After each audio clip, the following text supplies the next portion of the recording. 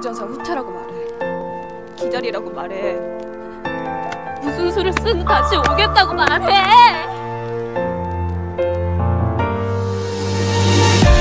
다시 너를 볼 수 있을까 다시 스쳐 지나가 버린 운명 앞에 서 있어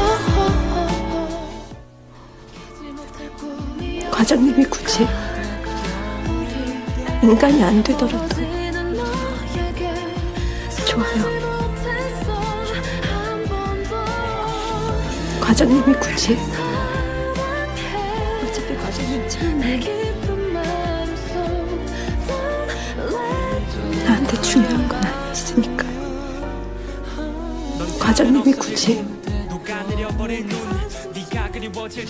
과장님이 굳이 인간이 안 되더라도.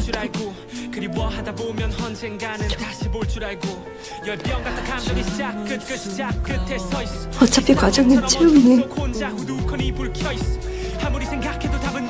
가슴에 나한테 중요한 건 아니었으니까. 어차피 과장님 채우니 나한테 중요한 건 아니었으니까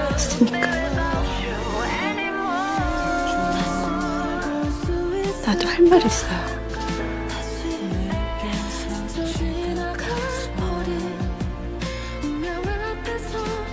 과장님이 굳이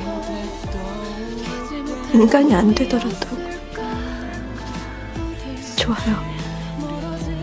과장님이 굳이